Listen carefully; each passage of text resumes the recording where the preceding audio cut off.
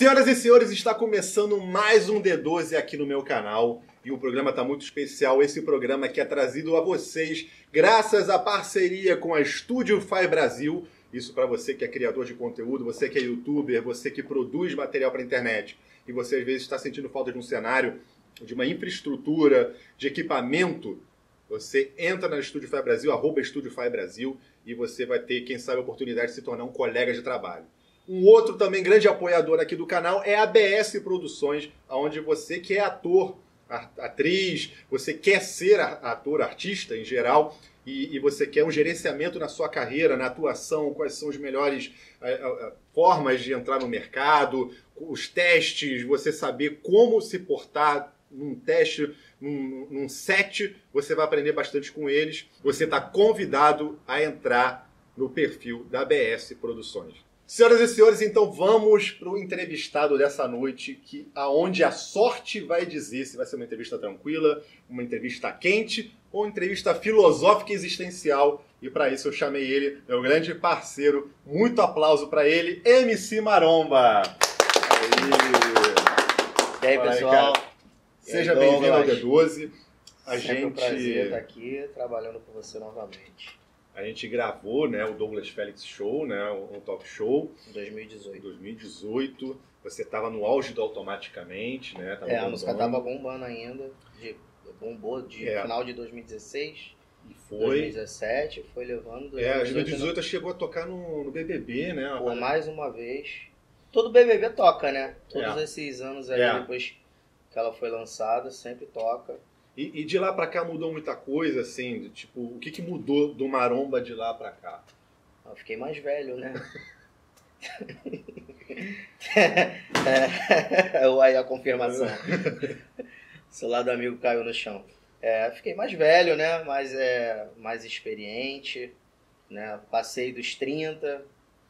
Mas essa experiência refletiu, o que, que você acha que refletiu na sua vida, assim, na, na prática?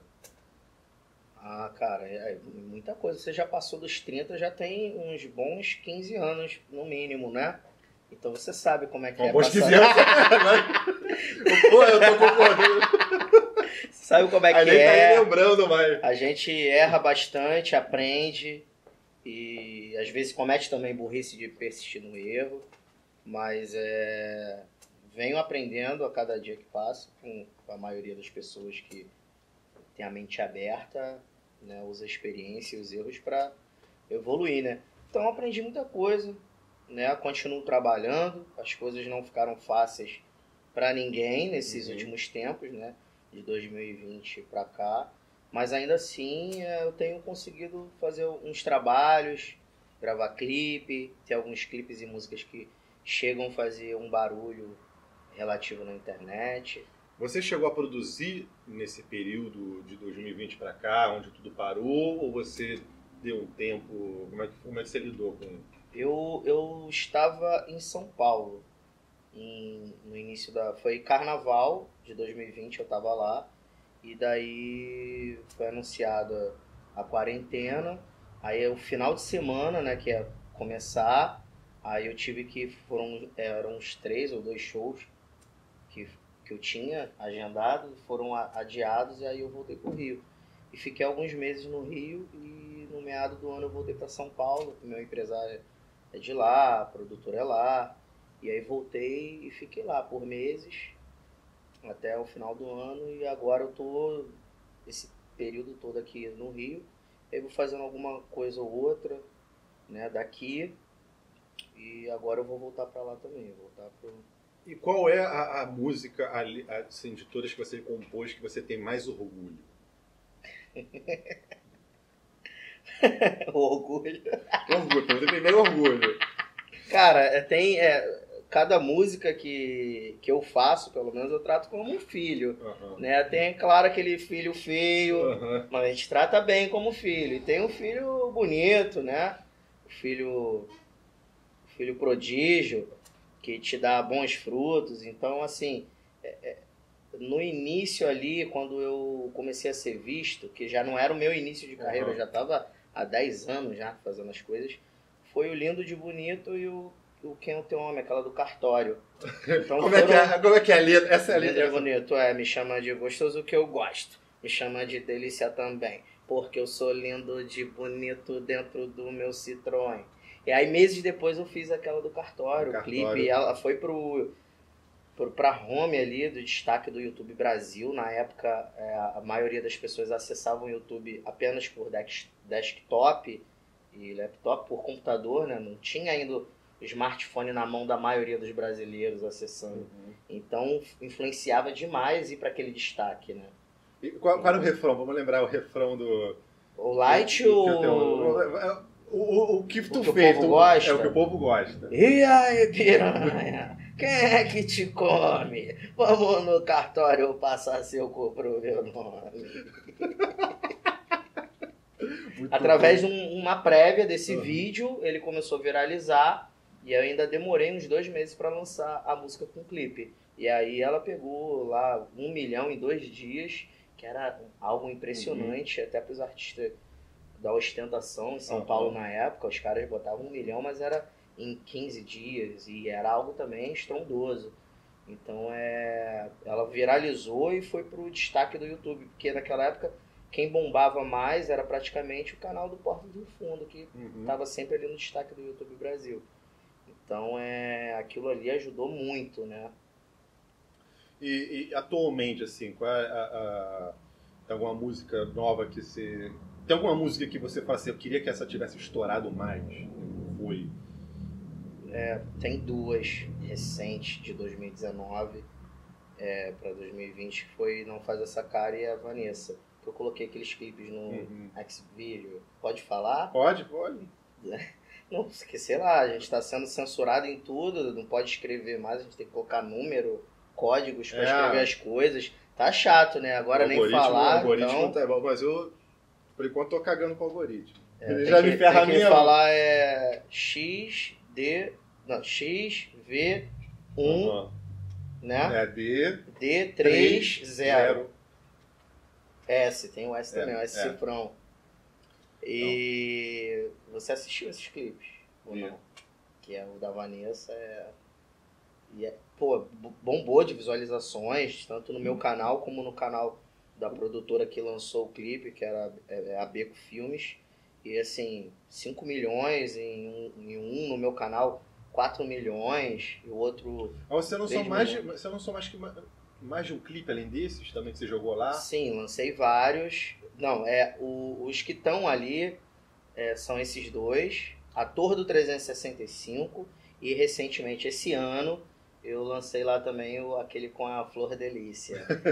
Ontem eu bebi demais em parceria com meu amigo Peter Correia. Alô Peter, tamo junto, hein? É, que não foi algo premeditado, né? O roteiro foi, mas a questão da menina lembrar Aham, foi a casa. a, a deputada lá foi coincidência. E aí vocês surfaram, né? Conseguiram. É, teve uma, um burburinho na internet e tal, mas a música não explodiu, né? Mas eu não perco as esperanças, não.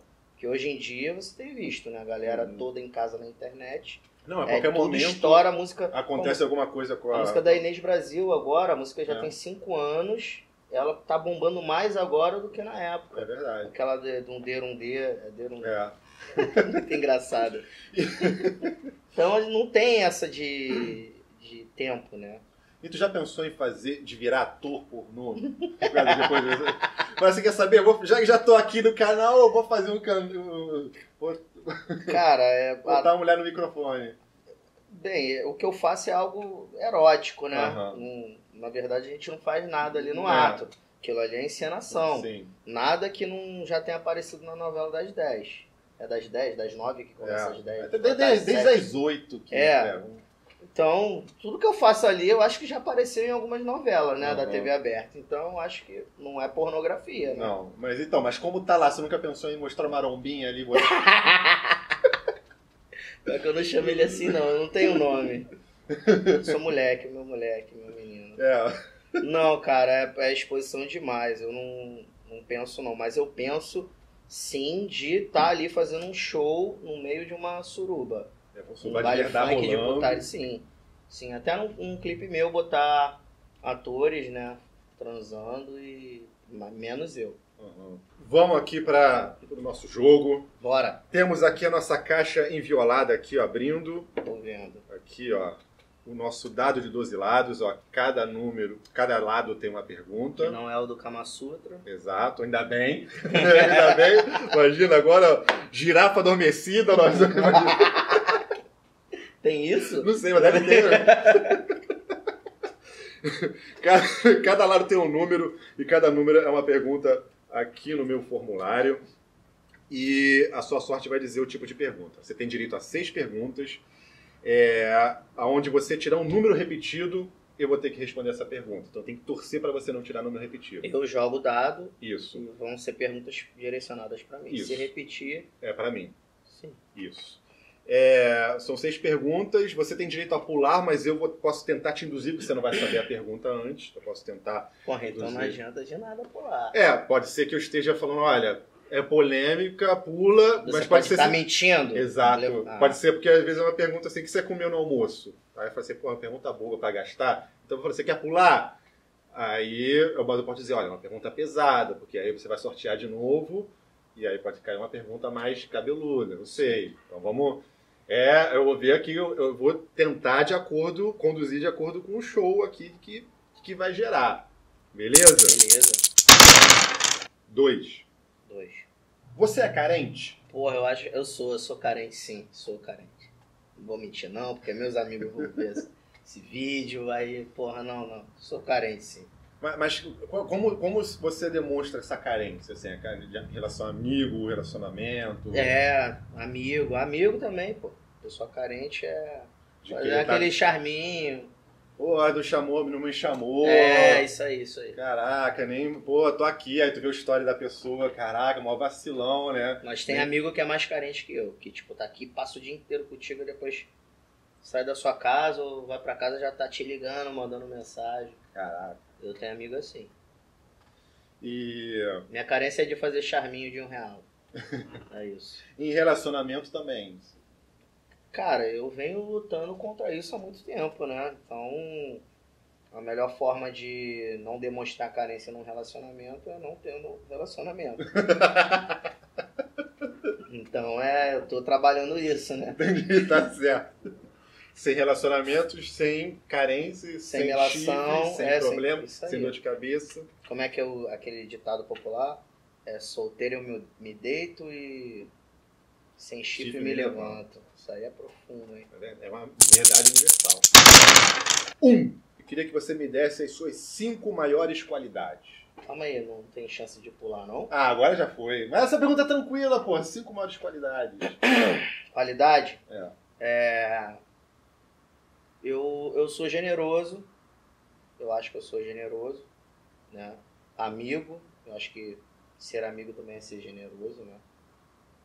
Ahn, eu, eu ia dizer é, alegre, engraçado, só que eu tô ficando velho, né? Não, A mas, gente começa a reclamar das coisas. não, pode ser aquele. Você pode se tornar o alegre. O alegre Eu já tenho escutado dos meus amigos, porra, tá igual um velho, é, então acho Não, que... alegre ranzinza, É, pô. Aquele, talvez, aquele é. velho que, que, fica engraçado reclamando. Isso, isso aí, pode ser. É. Uhum. É, Eu sou esforçado, sou esforçado e sou focado. Quando eu pego a- uma única coisa para fazer, eu consigo ir até o fim. E um defeito é o oposto disso de pegar várias coisas e não conseguir dar atenção para nenhuma e nada ficar bom. Então, eu sou 8 ou 80. Eu, Ou você foca, ou você fica. se eu pegar várias coisas, coisas para fazer, vai demorar muito para obter sucesso em todas elas. E eu acho que muita gente é assim também, Uhum. né? Porque não é fácil. Né? Mulheres que têm mais esse talento para fazer várias coisas, né? ao Uhum. mesmo tempo e obter sucesso em todas. Mas é. Acho que é isso. Eu, eu sou muito focado, né? Quando eu pego uma única coisa, eu consigo bater o final. Já foram quatro, né? Não, Não. cinco, já foi. É? Foi. Eu tenho qualidade. Porra, tô vendo. E Cinco. falou fácil, eu ficaria uma hora pra falar. Sobre você? É. Cara, porra, nem se acha, hein? Não, Porra, eu tanta ficaria uma hora pra assim. conseguir achar qualidade. Ah, tá, Pô. entendi. Quem dera. Primeira qualidade humilde. Porra, que número é esse? Agora foi. Foi nove. Ficou em... É 9 ou é 6? Nove aqui a bolinha embaixo. Ah, Nove. Se você fosse morrer agora, porra. qual seria a sua mensagem final? Se fosse assim, não necessariamente, necessariamente ser uma morte trágica. Se você soubesse, olha, você simplesmente vai desaparecer, igual o Jedi. Qual seria a sua última mensagem? Igual o Daniel Fraga. Comprem Bitcoin. É isso aí, porra. Comprem Bitcoin. Oito. Pulo. Tá, tá. Pergunta dois. Dois de novo. Porra, Você. sou eu. Você é carente? Vamos lá, eu. É. É sim. No Facebook dá pra ver que você é carente. Porra, quem? É carente. Pra caralho. É, já respondeu. Pra caramba. Já respondeu. Não pode palavrão. É. Ah, eu posso dizer que sou um pouco carente. Eu não posso dizer quanto, mas eu sou. eu não sei dizer quanto. Eu deixo pro. Quem carente com amigos, com mulher. Eu acho que é com. Acaba sendo acho que com todo mundo, só que em dosagem diferente, eu acho. Eu acho que cada, vai, vai muito da- do distanciamento, tá? da, da proximidade que eu tenho com a pessoa. Eu acho que quanto mais próximo deve ser mais chato ainda. É. É, deve ser E insuportável. com gente que você não conheceu ainda pessoalmente, pela internet. Não, Você fica dando.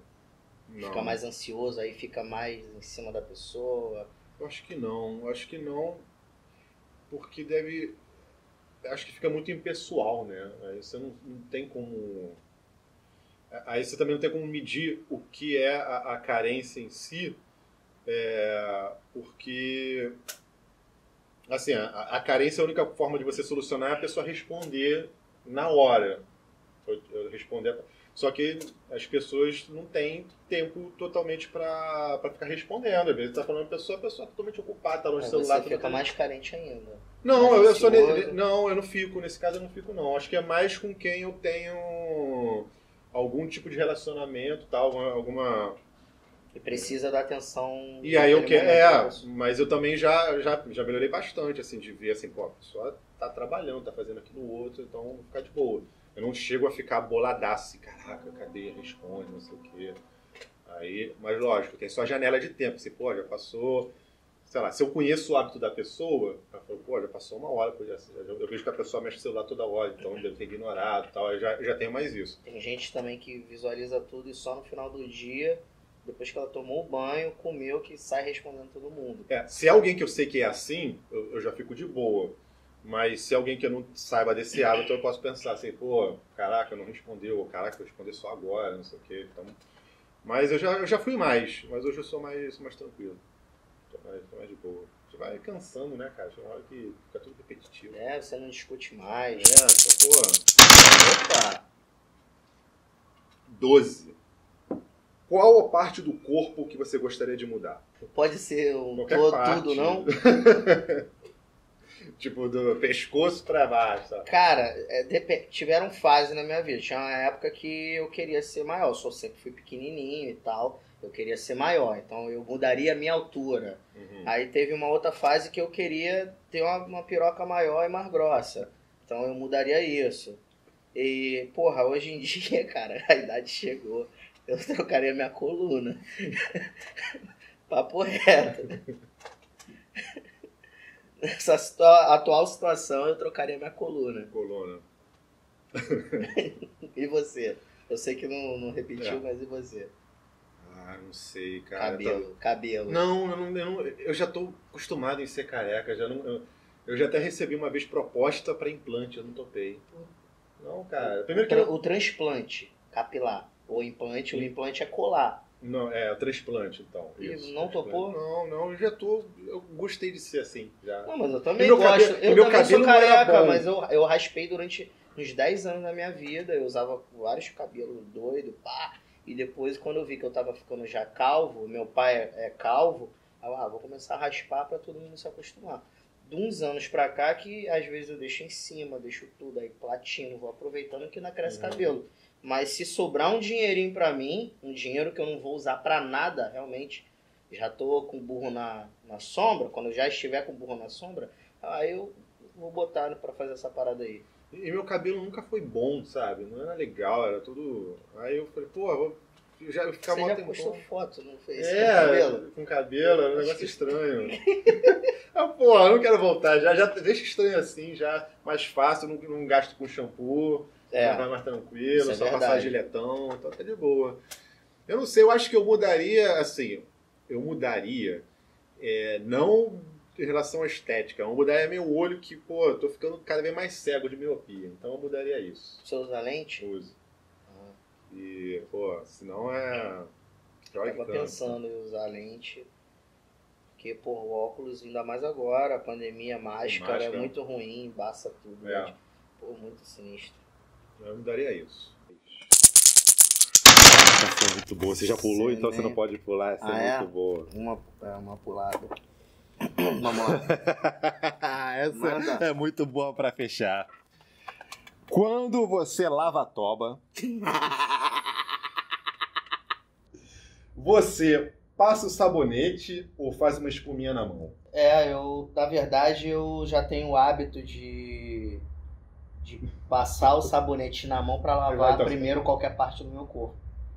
Então já tenho esse hábito. Então, o, o que eu tenho de hábito de para lavar o, o, o, O o cu é lavar com a mão esquerda. Porque eu sou destro. é, não sei, uma Hum. vez eu acho que algum amigo falou que os árabes comem só com a mão direita, porque a esquerda é para lavar as partes, e aí eles têm essa cultura. Eu ouvi, eu acho que eu ouvi isso, eu fiquei com aquilo na minha cabeça, que eu passei a ter esse hábito de lavar o cu com a mão esquerda, já que eu sou destro e comia com a mão direita. Eu Mas sou- isso eu não tem nada a ver, isso não Eu não aperto a mão esquerda agora nunca. Mas eu já tinha esse hábito também de. Eu jogava bola e nessa. numa fase que você eh, eh, tá em vestiário, aí, porra, um monte de gente compartilha às vezes o mesmo sabonete. Aí eh, na minha cabeça. Passar a mão e não direto o sabonete no corpo diminuiria. É, O problema tu deixa é que- na água, tu que- deixa na água pra água tirar a primeira camada de sabão, né? É, aí eu acho que eu já tinha, tinha esse hábito já de da infância de passar na mão pra poder passar no corpo. Mas no rosto, acho que eu passo o de rosto mesmo, eu pra Aham. esfoliar a cara, eu já passo direto no rosto mesmo. Porque, pô, já pensou? Tem gente que passa lá o sabão direto no bruto? Mas dá no mesmo, cara. É, não, mas mesmo assim, cara, assim, é- a sensação é pior. Porque, o tipo assim, se o cara passa, assim. a mão, se ele deixa por último pra lavar o, o sabonete, outra pessoa usa aquele sabonete, né, que não é o certo, né, cada um tem o seu sabonete, mas se ele deixa o por último pra lavar, então ele tá usando a, a mão pra lavar outras partes, né? E tendo em vista que o, o pau é o, tem que ser a parte mais limpa do nosso corpo. A parte mais limpa do meu corpo é o meu pau, mais do que minha mão, mais do que tudo. Mas é. Se o cara se limpa todo e deixa o cu por, por último, ele vai e passa não o sabonete no cu e na mão, e passa lá, tá, tá tudo bem, aquele sabonete ali. Agora se ele pega e passa direto, Aí é aí já é era. Ou tá? se ele la- lava primeiro o cu na espuminha, pra depois lavar as outras partes, ele vai meter a mão no cu e depois passar de novo ali, aí Tu deixa por último? deixo por último. Eu lavo. Eu jogo a água primeiro, aí Aham. depois o sabonete eu venho. Corpo, lavo depois- todas as partes, aí o cu é o último. Cara, que papo, né? É, é um cu peludo, né? Então tem dar trabalho pra lavar, né? Cara, eu queria te agradecer muito a entrevista. Mas se você acha que acabou, não acabou. Porque tem a parte 2 dessa entrevista que vai ser no canal da BS Tube. Então, você vai poder assistir esse vídeo. Primeiro, você deixa seu like aqui no vídeo, você comenta, diz que perguntas você gostaria que eu fizesse pro Maromba, que perguntas você gostaria que eu fizesse para outra pessoa que entrasse na minha lista, ou simplesmente é, o que é, quem eu gostaria, quem você gostaria que eu entrevistasse. Você deixa lá, deixa seu like, segue nas redes sociais, fala sua rede social, por favor. É, arroba MC Maromba, Instagram. O YouTube oficial é MC Maromba Oficial, né? youtube.com.br MC Maromba Oficial.